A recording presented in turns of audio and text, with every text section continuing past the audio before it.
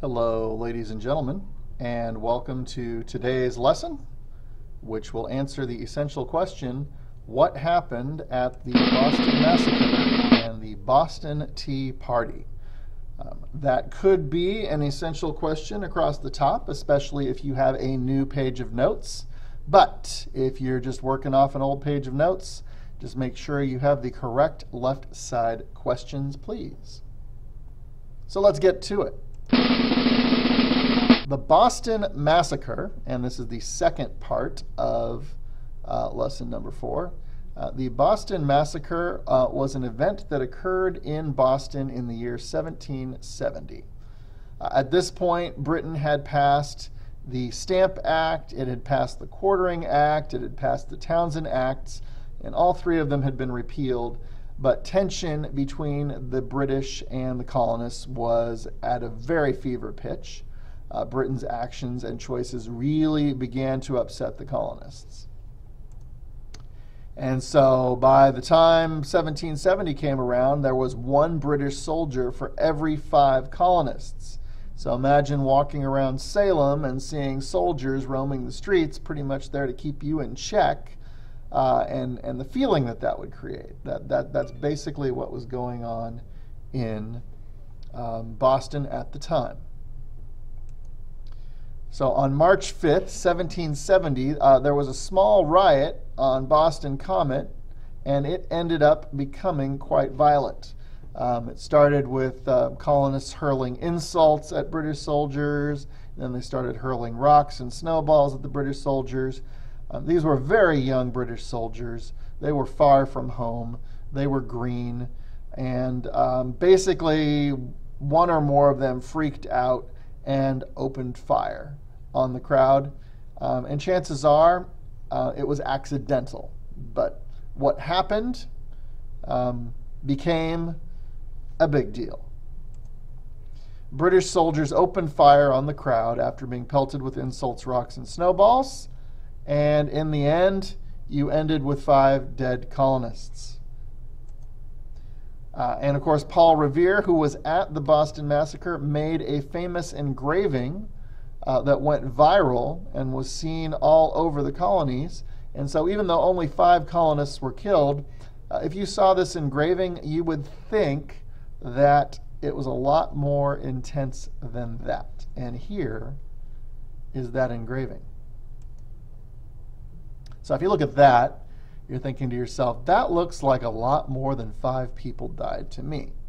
And this is before radio, this is before television. Pretty much people opened up their newspaper within a week or two of this happening.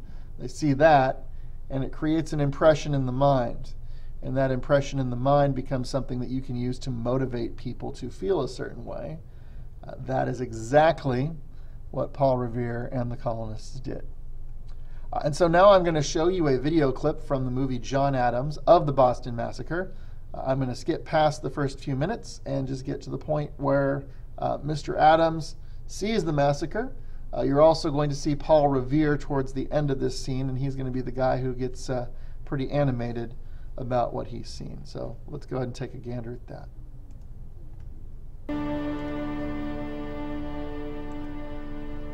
Not going to let me go full screen with it, so I'm going to skip to right about here. And had it? It's hard to say. There were no witnesses, and the beast refused to testify for some reason.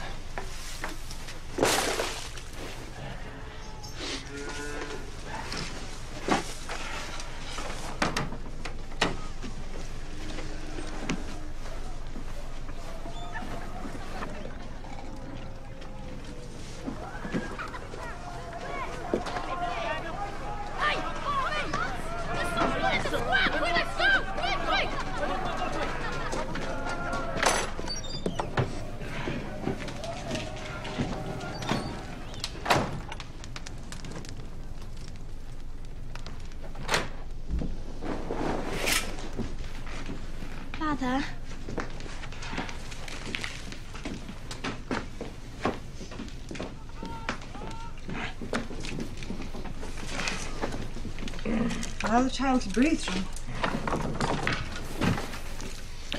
Can you breathe now? Did you go to the farm? Yeah.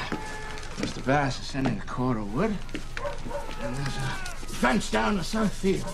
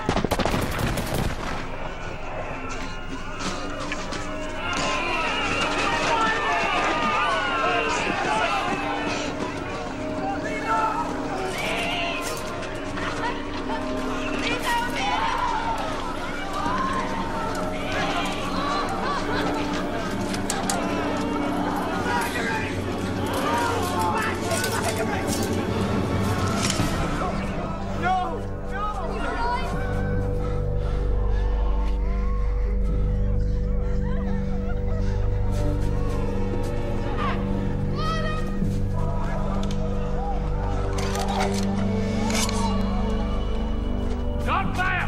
Do not fire at!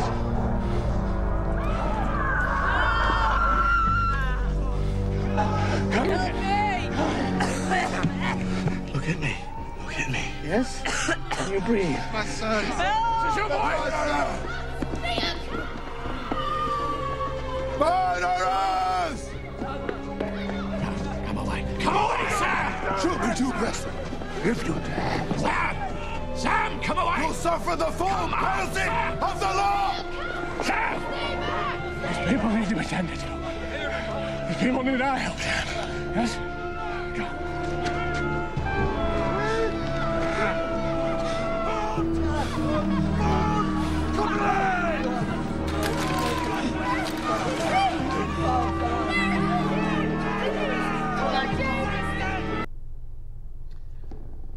So that, ladies and gentlemen, was a dramatic depiction of the Boston Massacre. And you should also note that one of the victims was an African American. So, ladies and gentlemen, our next left side question is What was the Boston Tea Party? Uh, and this was a further example of tensions rising between the British and the colonists, and evidence that they were not exactly singing from the same sheet of music. Now, video yet. So, in 1773, Lord North, who was the gentleman who rescinded the Townshend Acts um, in 1770, uh, passed the Tea Act.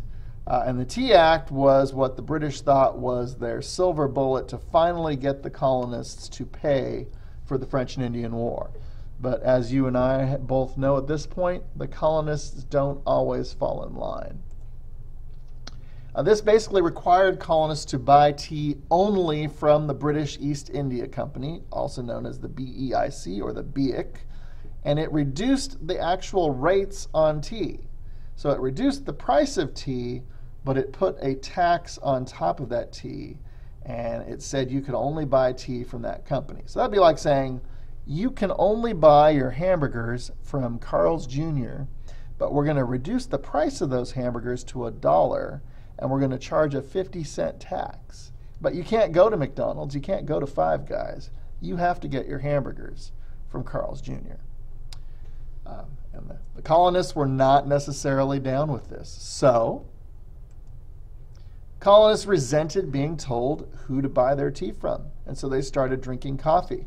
So, the American habit of being coffee drinkers actually started uh, as, as a result of the Boston Tea Party. If you go to Canada, if you go to Australia, countries that have strong British influence, tea is still a much larger part of their culture, uh, especially taking tea at noon.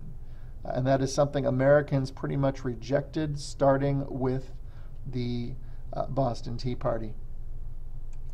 So on December 16th, 1773, uh, the Sons of Liberty, which was an organization that existed to resist the British, uh, dressed up like Mohawk tribesmen, um, and they boarded the British tea ships in Boston Harbor, and they did some damage, ladies and gentlemen. You may ask yourself, how much damage did they do? I have an answer for you. They dumped 90,000 pounds of tea into Boston Harbor. And that tea was worth a whole lot of money. And that money was owed to the British Empire. So you can probably guess where this is going. Uh, there is a lovely picture of what the Boston Tea Party might have looked like. Notice the Mohawk headdresses here. Um, and the people on the shoreline rooting it on. Not quite so sure there were that many people on the shoreline, but we'll have to see. And here is a History Channel summary of the Boston Tea Party.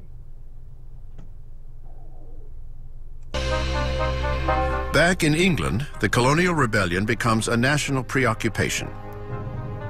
Over the next three years, Parliament keeps trying to impose its authority with new laws and new taxes.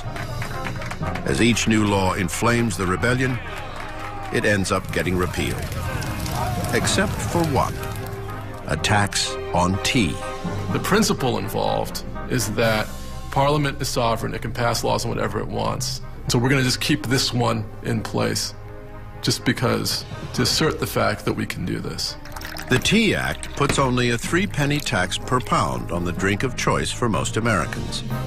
It's hardly a burden, but in the current climate, a three penny tax still equals oppression.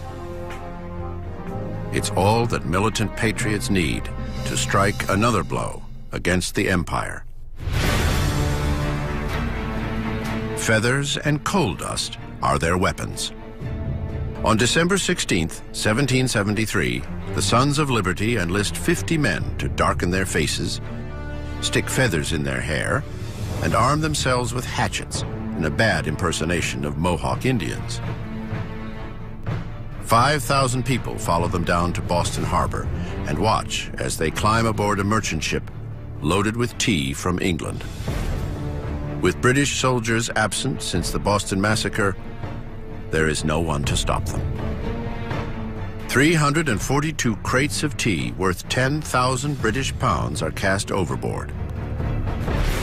This wanton act of sabotage, which becomes known as the Boston Tea Party, will soon push the two sides to the brink of war. The British reaction was disgust and outrage. From a British point of view, you had an entire colony running amok. And the British government, after the Tea Act, frankly said, We've had enough. We've had enough of Massachusetts. And we're going to clamp down on them. And we're going to make Massachusetts an example of what happens if you defy the authority of Parliament. At that very same time, the British discover yet another outrage committed by an American, someone they thought they could trust, Benjamin Franklin. So, ladies and gentlemen, as you can see at this point, there's enough drama going down between the colonists and the British that this probably is not going to end well. And we are on the doorstep of a very significant event, not only in the history of our country, but in the history of the world, called the American Revolution. And at this time, it would be appropriate for you to review your notes and write a five sentence summary on the Boston Massacre and the Boston Tea Party.